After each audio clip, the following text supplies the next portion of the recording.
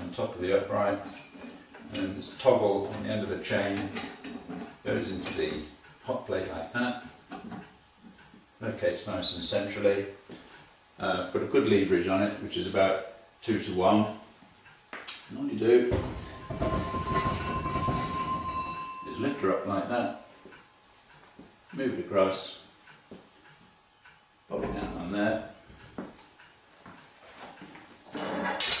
take that out, and there you go. Plenty of room. Now to service the burner. You can get into the bottom drawer okay, so you don't need to take that off again. How's that? Put it back, same way.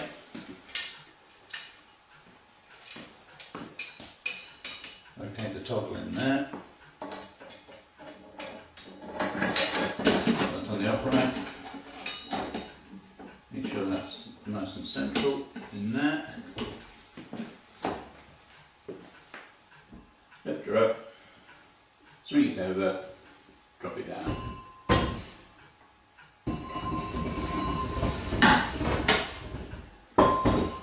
There we go.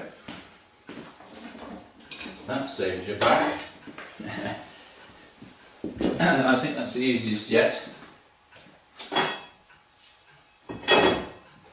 Even the line's fairly centrally.